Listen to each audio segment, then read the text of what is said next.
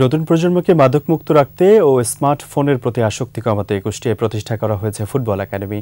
এলাকার একশো সাতাশ কিশোর ও তরুণ এরই মধ্যে নাম লিখিয়েছেন একাডেমিতে।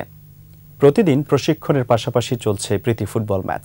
এমন উদ্যোগ সাড়া ফেলেছে স্থানীয়দের মাঝে। কুষ্টিয়া প্রতিনিধি জহরুল ইসলামের প্রতিবেদন জানাচ্ছেন আকাশুজ্জামান।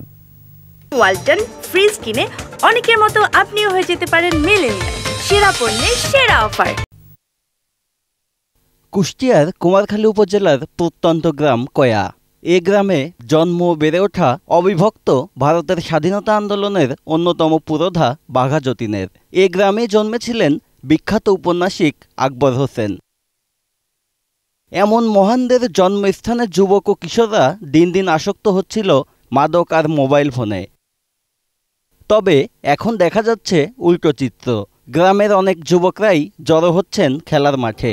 কয়া গ্রামের তরুণ শিল্প উদ্যোক্তা, কবি ও গীতিকার মিলন হাসান সেখানে প্রতিষ্ঠা করেছেন স্বপ্নভূমি ফুটবল একাডেমি। একে একে নাম লিখিয়েছেন প্রায় দেড়শো তরুণ। কয়া মাধ্যমিক বিদ্যালয়ের মাঠে প্রতিদিন তাদের প্রশিক্ষণের পাশাপাশি মাঝে মধ্যে আয়োজন করা হচ্ছে প্রীতি ফুটবল ম্যাচ। যুব সমাজকে সুন্দর করে যদি আমরা তৈরি করতে পারি, খেলাধুলা, পড়াশোনা এই মাধ্যমগুলোকে যদি আমরা তাদের সঠিকভাবে ব্যবহার করে নিয়ে আসতে পারি, বঙ্গবন্ধু যে সোনার দেশটা চাচ্ছি, সেই দেশটাই কিন্তু হবে। মোবাইল ও মাদক ছেড়ে খেলার মাঠে আসতে পেরে খুশি এলাকার যুবক ও কিশোররা। ভবিষ্যতে ভালো মানের ফুটবলার হওয়ার স্বপ্ন তাদের। অনেক ছেলে পেলে বাজে আড্ডা থেকে অনেক বাজে কাজ থেকে এখন এই একাডেমিতে প্রতিদিনই বিকালে প্র্যাকটিস করে খেলাধুলা হয়। একটা আশীর্বাদ রূপে আমরা এই একাডেমিটা মানে পেয়েছি আর কি আমাদের অনেক দারিদ্র পরিবারের ছেলে পর্যন্ত এসে এখানে প্র্যাকটিস করতে পারতেছে তার মাধ্যমে তার সুপারিশে লেখাপড়া করতেছে।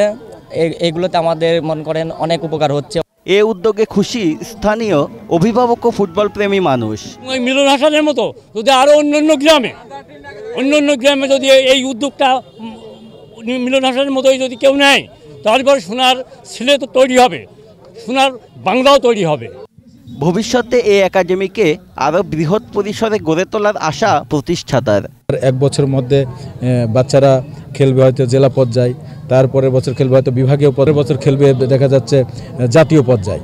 তো জাতীয় পর্যায়ে যখন খেলবে তখন আমার এই এলাকার যে সৌন্দর্য তৈরি হবে সেই সৌন্দর্যের জন্য আমি অপেক্ষা করতেছি এবং এজন্যই আমি এই একাডেমিটা করেছি। এমন উদ্যোগ সবখানে ছড়িয়ে দিতে পারলে তরুণদের মাদক থেকে ফেরানো সম্ভব বলে মনে করছেন স্থানীয়রা। আকাশুজ্জামান একুশে টেলিভিশন।